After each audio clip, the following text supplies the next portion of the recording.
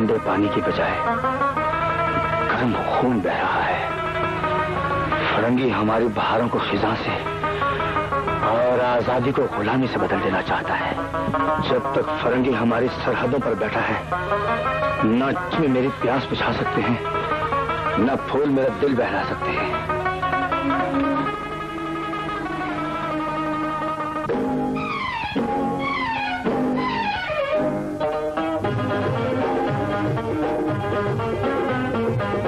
Thank